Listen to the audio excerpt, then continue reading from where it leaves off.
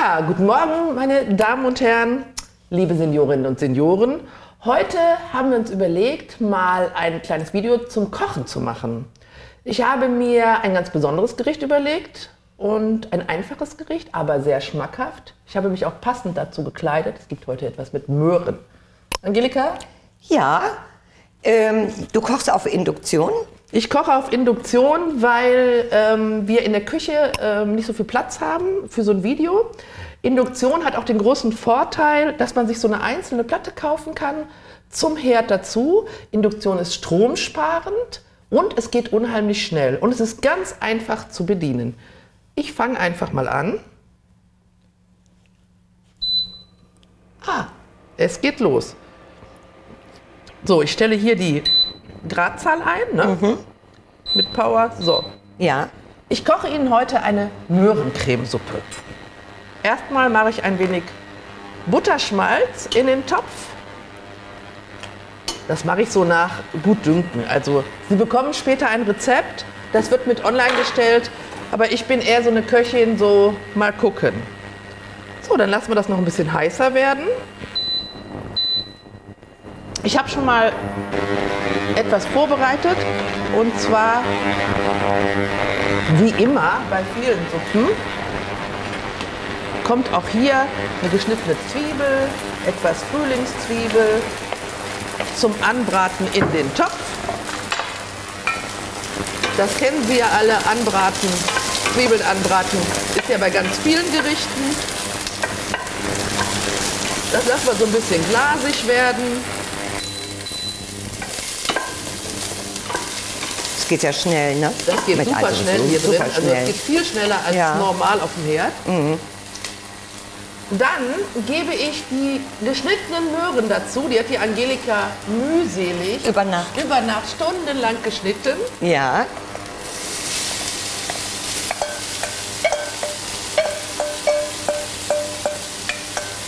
So.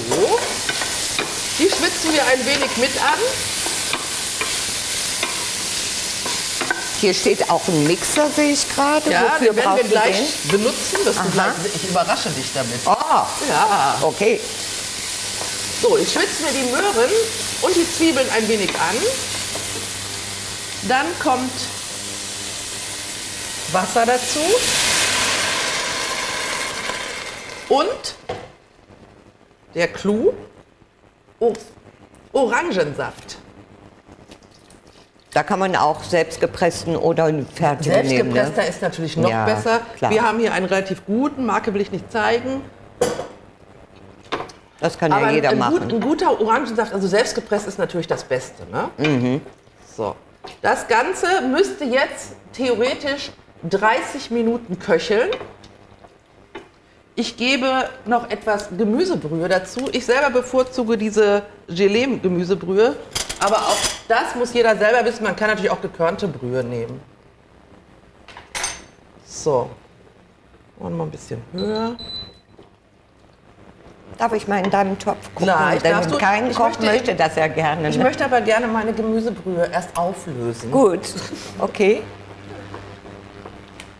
So.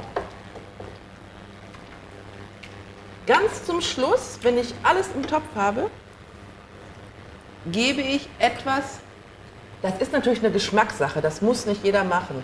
Ich habe das gerne, wenn ich etwas mit Möhren koche, dann gebe ich etwas Ingwer dazu. Ich reibe den Ingwer mit Schale, das wird Sie vielleicht erstaunen, aber unter der Schale sitzen die besten Enzyme und Nährstoffe. So.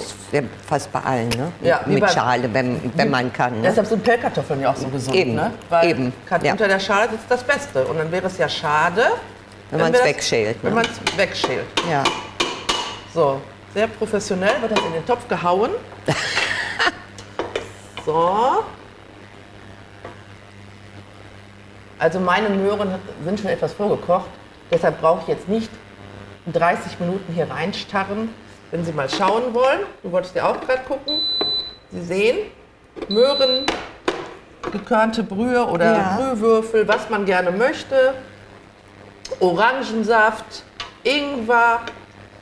Ganz am, Schluss, ganz am Schluss mache ich noch eine Prise Curry dran. Und den O-Saft mache ich auch etwas später dran. lasse das jetzt noch ein bisschen köcheln. Wir brauchen ja jetzt, wie gesagt, keine 30 Minuten warten. Ich sehe hier auch Kokosmilch Das ist stehen. natürlich Geschmackssache. Ja. Wer das möchte, also ich mag das sehr gerne Ich auch. Mhm. und du auch, weiß Ja. ich. Ähm, wir lassen das jetzt ein bisschen aufkochen. Aber muss nicht, man kann auch Sahne oder so, ne? wenn man nicht gerade Kokosmilch hat. Kokosmilch, Creme fraiche, Sahne zum Verfeinern, das Ja. bleibt völlig Ihnen überlassen. Wir stellen das mal wieder ein wenig runter, weil wird sehr heiß, ganz schnell. So, dann gebe ich jetzt einen Schuss Kokosmilch dazu und meinen Orangensaft noch mal ein bisschen. Ich sehe, der verkocht etwas. So, müssen wir mal schauen. So, ich denke, das ist gut so. Stellen wir mal aus. Pfeffer, Salz Mach ich äh, erst kommt auch, Schluss. ne? auch zum Schluss, Salz, ja. Salz, ich esse überhaupt kein Salz, das ist Ja, natürlich... ist auch nicht gesund, ne? Ne, Zu und- viel Salz. Und in der, dazu muss man auch wissen, genau. In der Gemüsebrühe, egal ob Sie die in dieser Form nehmen oder aus dem Glas, die gekörnte Gemüsebrühe, die ist, da ist immer ganz viel Salz drin. Im Regelfall brauchen Sie dann nicht mehr nachsalzen. Bei Pfeffer ist das natürlich was anderes. So, jetzt Ich mach mal Platz, ich gehe mal auf die andere Seite, wenn Super. das okay ist, dann hast du ein bisschen Platz. Ah, ja, da kommt die Das Überraschung. Ganze können Sie natürlich auch mit einem Passierstab machen. Wir haben jetzt hier so einen tollen Mixer. Den hat ja nicht jeder von Ihnen zu Hause. Möchtest du einen Löffel haben? Ja. Ups. Dankeschön. Bitte. So. Kommt zurück. Kommt hier drauf. Das ist mein Deckel. Also das hier ist Glas, also ein Mixer, der einen Glasaufsatz hat. Im Glasaufsatz können wir das Kochenteils reinschütten. Ne? Das geht natürlich auch nicht in jedem Mixer. So, ich setze mal einen Moment etwas laut.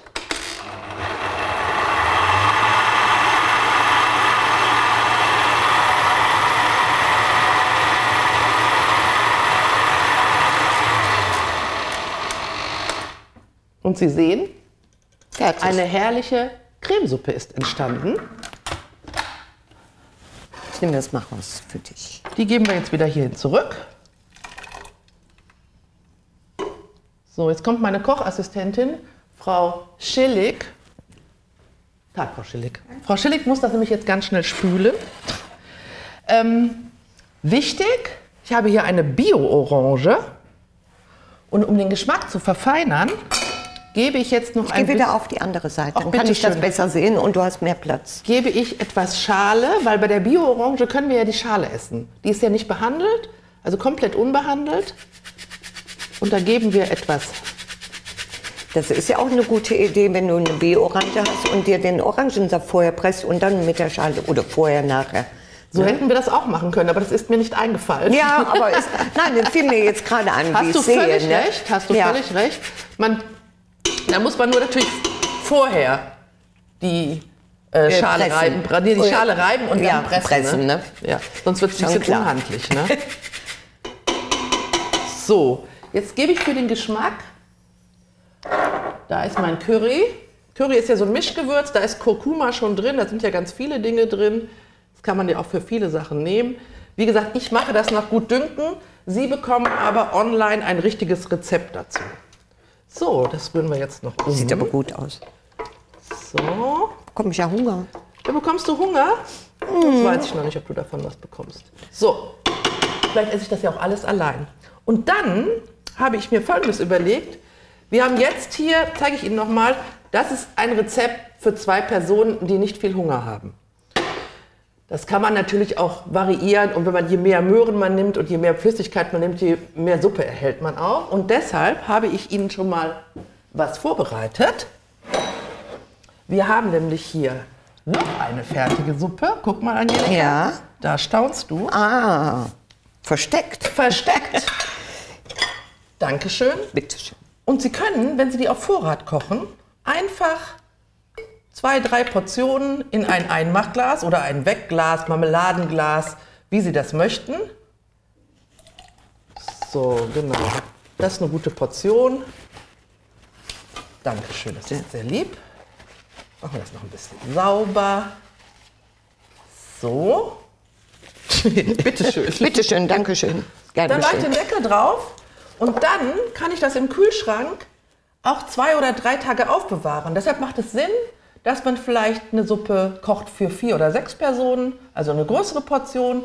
Und dann essen sie montags was und haben donnerstags aber nochmal ein Gericht, das sie nur aufwärmen brauchen.